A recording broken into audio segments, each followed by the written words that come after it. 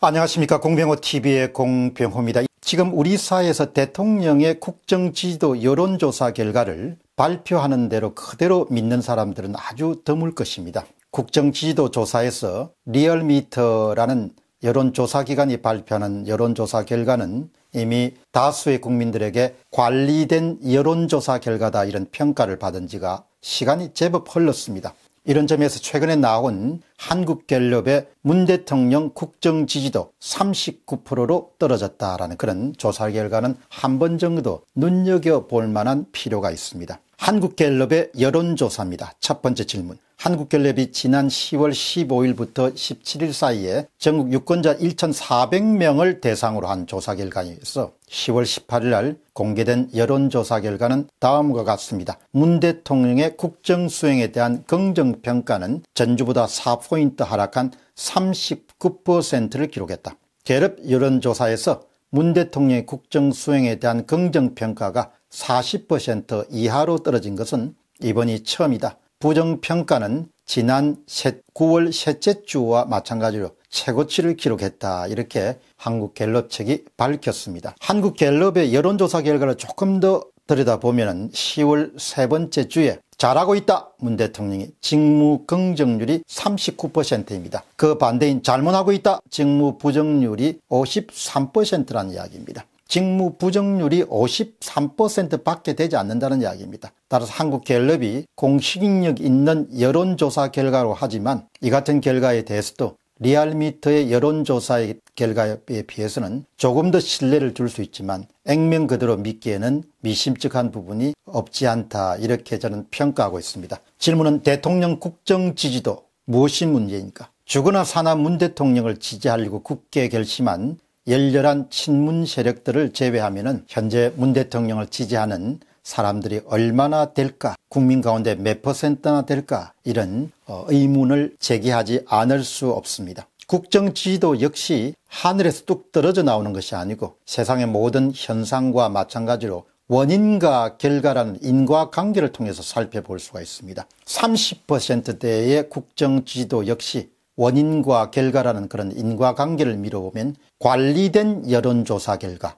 혹은 눈치를 본 여론조사 결과 이런 판단을 내리지 않을 수가 없습니다. 저는 잘해야 20% 수준을 유지하고 있을 것이고 아주 잘 봐야 20%의 후반 정도를 기록하고 있지 않겠느냐 그런 생각을 하게 됩니다. 다음 질문은 진짜 국정 지지도의 결정 변수입니다. 현재 지지율 하락에 결정적인 기여를 하는 것은 세 가지 변수가 거의 대부분의 그런 결정 변수다 그렇게 예상하고 있습니다. 첫 번째는 경제 상황의 악화입니다. 다른 실적에도 불구하고 경제 상황 악화가 진짜 국정 지도 결정의 가장 큰 설명 변수라고 생각하게 됩니다. 다수의 국민들은 문재인 정부가 시작한 잘못된 정책들이 경제 상황을 크게 악화시키고 있고 앞으로도 더더욱 그럴 것이다 이런 사실을 그냥 사실로 받아들인 겁니다. 여기에 대해서 잘못된 정책들의 부정적인 효과를 고치기 위해서 문 대통령과 문재인 정부가 적극적으로 나오지 않고 대단히 경직되고 고집스러운 그런 자세를 유지하고 있다. 이런 부분들이 사람들에게 문 대통령에 대한 지지도를 낮추는 그런 역할을 하고 있다. 이렇게 볼 수 있습니다. 제가 특별히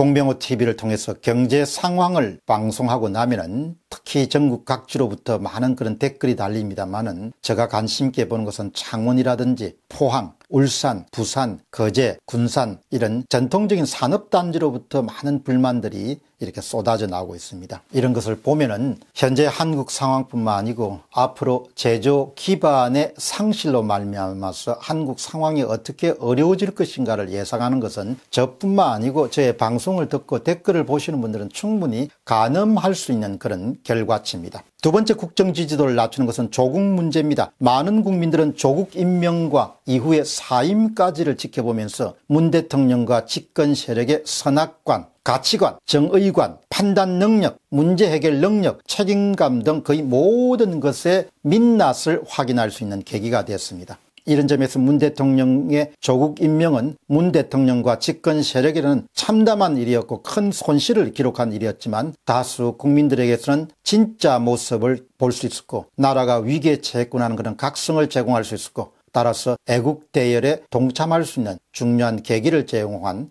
그런 사건이었습니다. 세 번째는 대북 문제입니다. 정부가 막대한 예산을 투입해서 페북이나 유튜브 등을 통해서 친북적인 메시지와 평화의 시대가 도래하고 있고 곧 도래할 것이다. 그렇게 광고를 내더라도 이제 알만한 사람들은 다 진실, 팩트를 알게 되었습니다. 친북 정책이란 것이 결국 국내용 정치를 위한 혹은 정파적 이익을 위한 혹은 선거 승리를 위한 도구나 수단이나 소재 이상도 이하도 아니라는 것을 다수의 사람들이 알게 됐습니다. 요약해서 말씀드리면 세 가지의 굵직굵직한 설명 변수들, 경제 상황의 악화, 조국 문제, 대북 문제 등의 진실이 다수의 국민들에게 알려지고 있기 때문에 열렬한 친문 세력을 제외하면 다수의 국민들은 문 대통령에 대한 국정 지도를 그대로 여론조사 결과를 받아들일 수 없고 여론조사 기관에서 발표하는 그런 여론조사 결과를 충분히 깎아서 할인해서 하게 됩니다. 20% 내외일 것이다 라고 제가 추정하는 중요한 논거입니다. 공병TV의